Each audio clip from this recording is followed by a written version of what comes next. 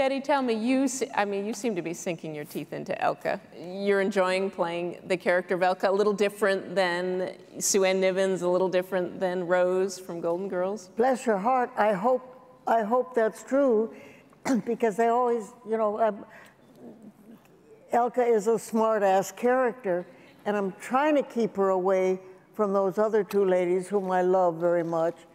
And, uh, but thanks to Suzanne, she gives me such an opportunity to, because as the show has evolved, Elka started out, she was sort of a heavy. She was Yeah, really yeah, a villain. yeah.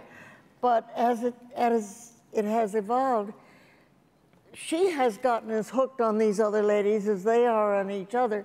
So we're really a foursome. Yes, we're really a, so- a group that would stand up against the world to Well, support really each hard other. for Betty to play a heavy anyway. I mean, Yeah. seriously. Have you looked lately? Is that why you didn't have hot dogs on Friday night? Your red vines. No, it's so it's so ridiculous the idea that she's the caretaker. I mean, I don't even it's, it, you know the, the, what is she doing? She's never done anything. Well, seriously, three women living in Yeah. Cleveland in a house by themselves. I mean, don't All right, try there's- to there's- dig in too yeah, far about what the reality the of this show. If you have a chance to have Betty White on your show, I- go for it, whatever.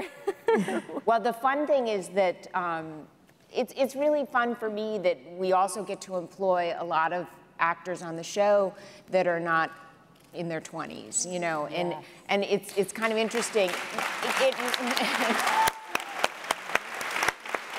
and um, literally every week we get a call from some gentleman, let's say 65 plus, who wants to date Betty on the show. So we actually have a list. told me that. Reason. Have you taken any of the numbers? Yeah, well, well, well, we assume once. The, But you've done really, I mean, especially for a show with, you know, fantastic, really finely drawn characters, you've done so well with your guest stars. Mary Tyler Moore, Bonnie Franklin, Jon Lovitz, the Old Spice guy, Yeah. who was great. Those yeah. is on this Wednesday. Yeah. Isaiah's on tomorrow night. Yeah. Oh, forgive me. Sorry. Well, Oh no, that's fine. That's But uh, I mean, really, you know, so it seems it sounds like you've got quite a selection of people calling to, and people that you can really work in great, just great comedic We have situations. the Love it. from our past shows that we want. I mean, I still want Pat Harrington and Mackenzie Phillips to come on. You I've, still, yeah, I've had um, Peri Gilpin. right. And I'm, I'm can I say we're getting Oh John yeah, next Mahoney? next week John Mahoney's on the show. So excited. And I'm holding out for Enrico Colantoni I and, love uh, him. Yes, yes, that's and Laura San Giacomo. I would Yes, love to play my daughter. No, I think want her to be be my great. daughter. Well, I think she could be my stepdaughter. It could be really my complicated. daughter. Your Your sister. daughter, your Yes, sister. sister. What are you insane? Um, yes. You notice I haven't gotten into this. I'll just take the leftovers.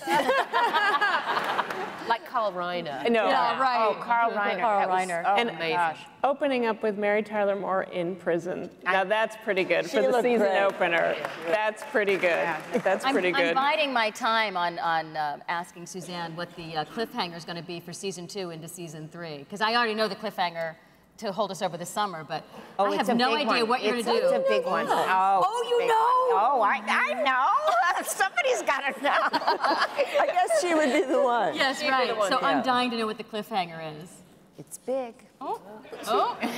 Let's talk about that from a creative perspective because, like a lot of cable shows, you kind of have a, a split season. And the good news is you've, you've got a nice fat 20, 22 episode Yeah. order, but you split it over Next week. Yes. a couple of months. I mean, you know, the, the strongest broadcast network shows sweat out 13 and sweat out 9, and, and TV Land has really made quite a commitment to this show. But is that creatively challenging to, you know, you're going to have a bunch of episodes from January to it's, late it's March? really hard because most of the time you sort of look at maybe the last episode of 22 has a bit of a cliffhanger or something that'll lead you into the next season, but we have to do it twice, and that's, I mean, you know, it, it's such a pleasure to So be able to do all well. this. It's a good that- problem to Yeah, it's a good problem to have, but um, it does, you kind of have to lead it up and then pick it up, and it's, it's a little different. Because the cliffhanger that, that's coming in a couple weeks is really good. It is good. Really good. I don't know what it is. How do you know these things? You filmed it! Oh, I was in it.